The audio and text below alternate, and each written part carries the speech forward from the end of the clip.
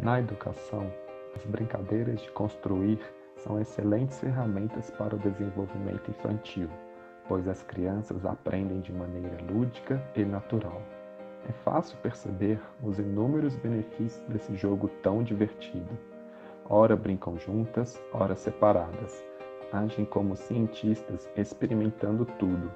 Testam cada peça, observando cor, forma e estrutura elas exercitam a concentração e descobrem, através de suas experiências, as relações de causa e efeito.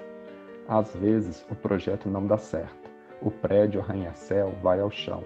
A ponte despenca. O foguete se parte ao meio. Então recomeçam, testam algo novo, buscam soluções para atingir o objetivo. Sentem-se competente ao se encantar com a sua própria criação.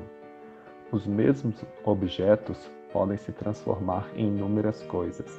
Os cenários que criam dão asas às mais variadas histórias, às narrativas cheias de vida, tornando o construtor protagonista da sua própria história.